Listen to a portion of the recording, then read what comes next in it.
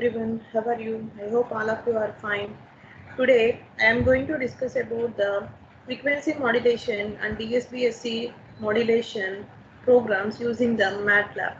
So already you, we know that we can perform the uh, modulation experiments using the MATLAB editor window uh, that is by typing the code and we can also perform the same experiments using the MATLAB Simulink that is by designing the models.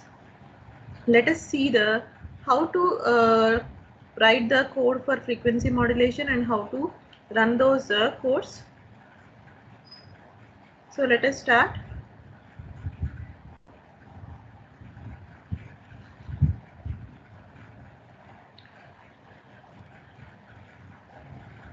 So this is the program for frequency modulation. If I see for any type of MATLAB program, the starting instructions, let us see CLC, clear all, closer. So because in MATLAB, uh, MATLAB window, if you observe the MATLAB window, uh, we have the uh, some separate sub windows. Sub windows are like current current folder, workspace, editor window, command window. So to clear all the windows, we are using the CLC clear all close all. Next, for any type of any type of signal, time is time is very very important because a signal is nothing but it's a function of the time. That's why whatever the modulated signal, message signal, carrier signals all should be defined with a particular time. So that's why here the time is defined with the starting with the 0 and ending with the 2 and with the step size of 0 0.001. Next after that we are defining the amplitudes of each one. So for any type of modulation, message signal and carrier signals are present. That's why we define the amplitude of message signal, amplitude of carrier signal. So here we can see any, we can take any values. Here in this program, I am selecting as AM is equal to 0.1. You can change these values, AM and AC values. Next one is FM and FC. So here I am taking the FM is equal to 2, FC is equal to 10. So keep it in mind the message signal is a low frequency signal, carrier signal is a frequency signal. So you need to select the frequency of carrier as the highest one rather than the message signal. That is very very important point. Next one is any for any modulation. Modulation index is very very important. For frequency modulation also the modulation index is uh, defined. So here I am taking I want to observe the narrowband FM. Uh, that's why I am taking k is equal to 2 or beta is equal to 2. You can change this variable. Here I am taking the modulation index k is equal to 2. Next omega c1 and omega c2. These are these are the nothing but angular frequencies. So already we define the message and uh, carrier signal frequencies in terms of hertz. And then these uh, two frequencies are converted into the angular frequency using these commands. Omega c1 is equal to 2 pi fm. This is omega c1 is the angular frequency of message signal. Omega c2 is the angular frequency of carrier signal. Next one is I am uh, defining the message signal and carrier signal. So all of you know that equations of message signal, any, any message signal is represented as AM cos of omega, omega mt. Generally in mathematical equation we take like that. But here our frequency of message is taken as omega c1. That's why it is AM cos of omega c1t. And C of t is nothing but AC cos omega c2t. So now using these two equations we are defining the message signal and carrier signal. Next what is the next step? I want to perform the frequency modulation. So according to the basic fundamental uh, fundamental equation of FM, using that same uh, formula, same equation, same mathematical equation, I am defining the frequency modulated signal with variable S. S is equal to AC cos of omega CT plus beta sine omega MT. Generally in our theory, we can uh, we can observe the equation in that form. AC cos of omega CT plus beta sine omega mt. In place of beta, here I am taking the k. In place of omega m, I am taking the omega c1. So this is the fundamental frequency modulated signal equation. So whatever the modulated signal that is saved in the variable yes. Next, in order to observe the each and every signal in MATLAB, we have the command subplot and plot. So why we are using the subplot? Because in order to observe the multiple images using the same figure window, we are using the subplot. The first two indices represent the size of the figure window. So 4 comma 1 is the size of the figure window. That is 4 by 1 that is 4 rows and 1 column. That uh, that means we can see the four figures at a time. In the first figure i want to see the message signal. That's why plot of t comma mt and i am indicating the title. Mt is nothing but message signal. That's why i'm taking the title as modulating signal. 4 comma 1 comma 2 so in the second figure I, am, I want to see the carrier signal. That's why plot of t comma ct the third figure the modulated signal is obtained. But here there is a, a small change. So rather than t comma s i am taking t comma mt also. That is i want to observe the both modulated signal and message signal at a time uh, in the same figure. That's why i am defining the plot as t comma s comma t comma mt and here observe the title as taken as modulated signal with respect to message signal that is how the frequency variation takes place with respect to the message signal that is observed in the third figure. And in the fourth figure i want to see the demodulated signal. So before uh, observing the demodulated signal first i want to define the demodulated signal. So the demodulated signal is defined as ac ac omega ct plus beta into m of t. So by using this equation we can generate the demodulated signal Next plot of t comma s2. So t comma s2 is nothing but which can plot the demodulated signal. So this is the program for the frequency modulation and demodulation using the uh, basic equation, basic mathematical equation that is user defined equation. Here there is no predefined commands. We are defining the modulated signal and we are defining the demodulated signal based on the fundamental theory concept. So let us run this program. So this is the output of this program. The first figure in the figure window we have the four figures because of size of 4 by 1. The first figure is the message signal, second figure is the carrier signal and third figure is the modulated signal. So if we observe the modulated signal, how is the changes takes place for a peak values of message signal. For peak values of message signal, the frequency is maximum.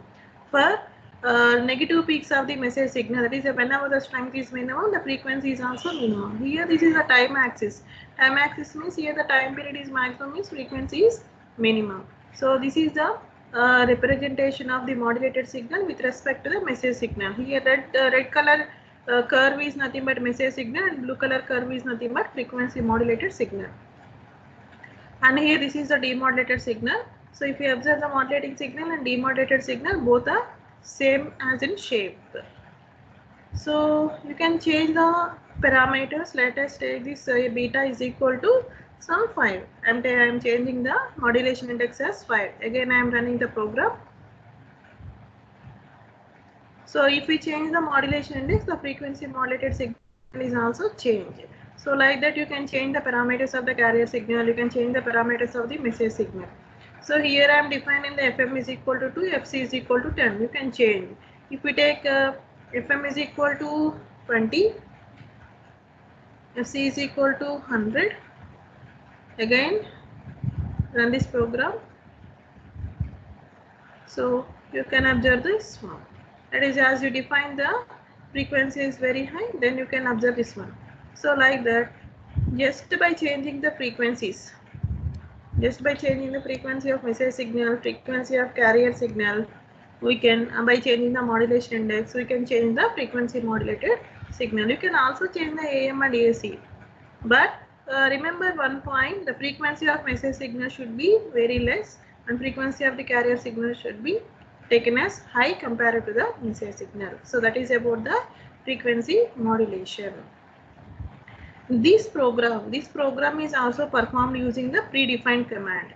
So let us see how we can perform the frequency modulation using the predefined commands. So here in this program if you observe the x uh, y and z so here there is a predefined command fm mod. Fm mod is a predefined uh, command which perform the frequency modulation with arguments. X x is nothing but a message signal. That's why x is defined like this Fc is the carrier frequency and Fs is the sampling frequency. Fd, Fd is nothing but frequency deviation.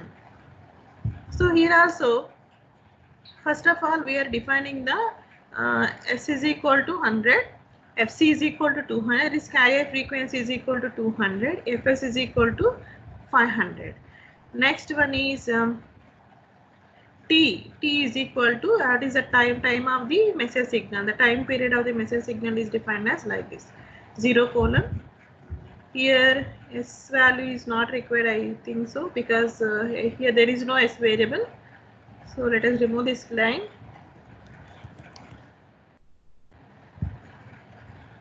Uh, FC so in the predefined command we require the X.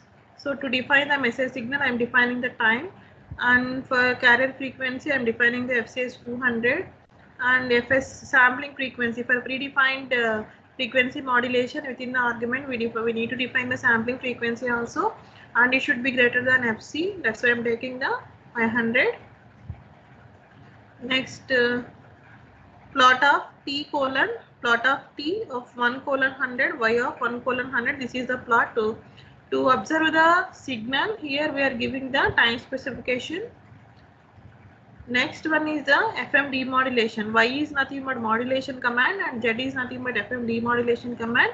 If you observe the uh, arguments so for performing fm fm modulation we are first in uh, first argument is x that is message signal. For performing demodulation the first argument is y. That is nothing but modulated signal as given as input and again we need to take the remaining parameters as it is fc fs and f deviation.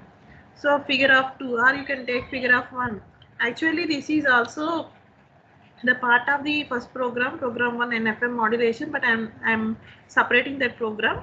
So that's why figure of 2 is there. Here i'm modifying figure of 1 uh, plot of t comma x. I want to observe the message signal. X means message signal with uh, color with particular color and second one is t comma z. T comma z is nothing but i want to see the demodulated signal with some color and having some dotted lines. That's why i'm defining this command like this format. And i want to uh, observe the x label and y label also in the figure window. That's why i'm defining x label as time of second y label as amplitude.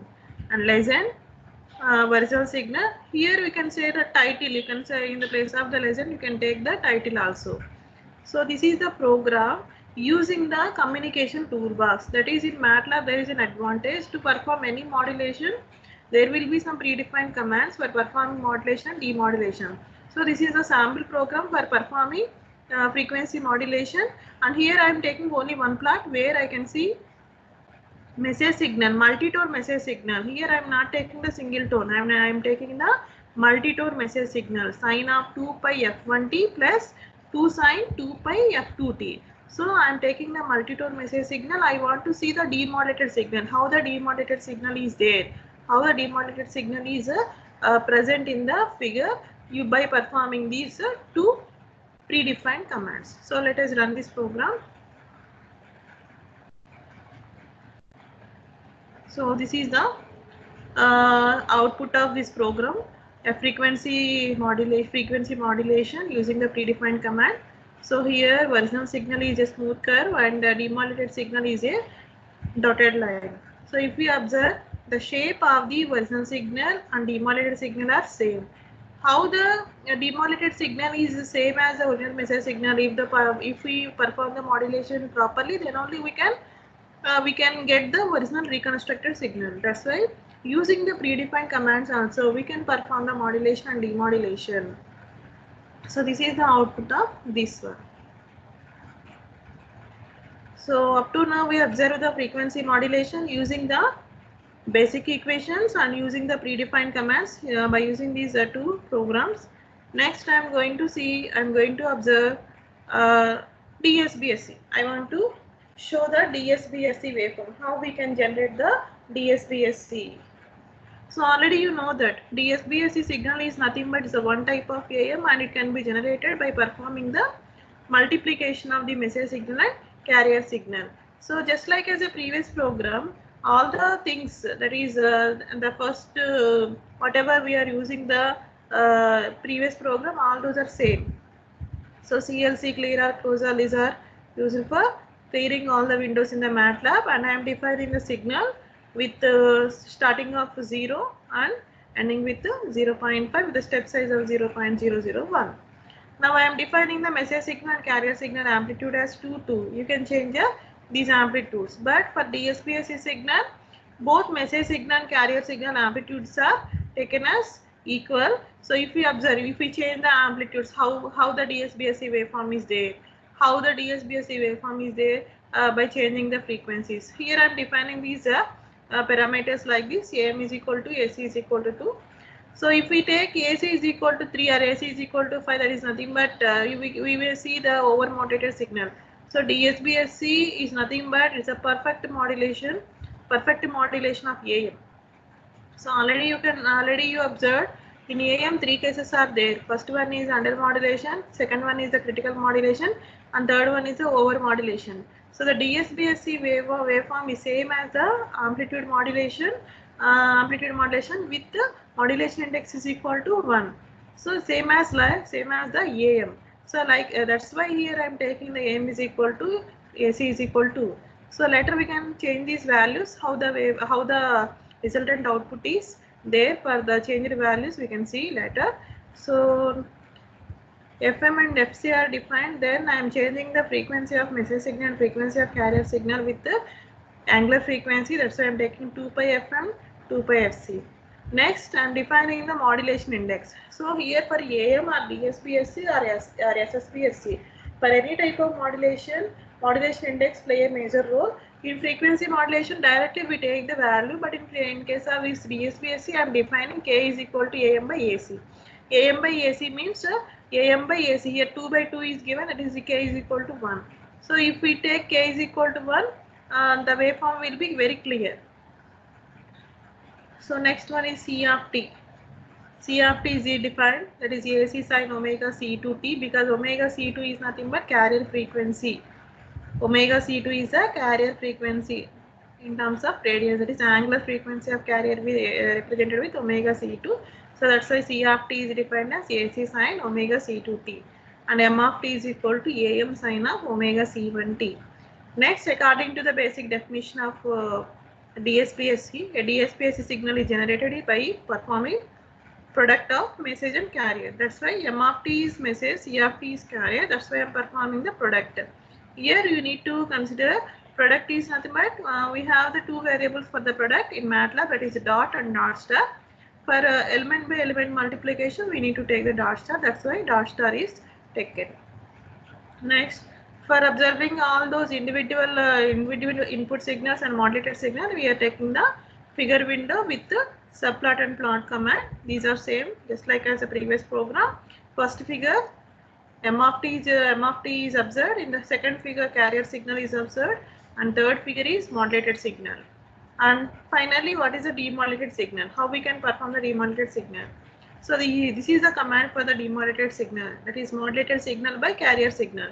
What is the modulated signal? Is nothing but product. S is nothing but M of t dot star of C of t by C of t. That is C of t, C of t get cancelled. We get only message signal. So that's why the demodulated signal is defined with this mathematical operation and plot of t comma s2 that is uh, t comma s2 is plotted in the fourth fourth figure. So let us uh, run this program. So this is the output of this program. The first figure is the modulating signal second figure is the carrier signal and third figure is the modulated signal and fourth one is the demodulated signal. So if we observe the modulated signal, modulated signal, we are taking the modulation index is equal to 1. That's why we are getting the waveform nature like this. And every for every zero crossing point, this point is called as zero crossing point. For every zero crossing point, there should be a phase reversal. So this is very very important point. Important point we need to observe. So this is the output of DSBSC waveform.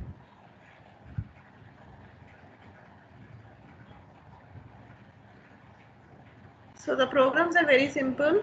Uh, main thing is uh, we need to initialize uh, each and every parameter of message signal and carrier signal. Later, we need to define the signal, modulated signal and demodulated signal and later we need to plot those uh, figures using the subplot and plot command. So this is the code for DS.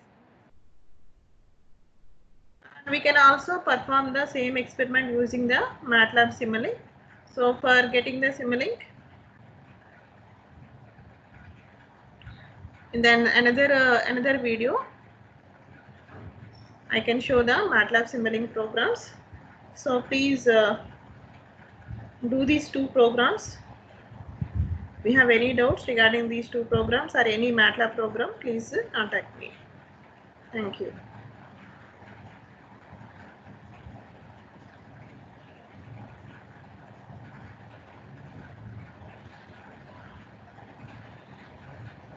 In the next video, I will show the MATLAB Simulink uh, uh, design models for frequency modulation and DSBSC. Practice these two programs. Meanwhile, practice these two programs.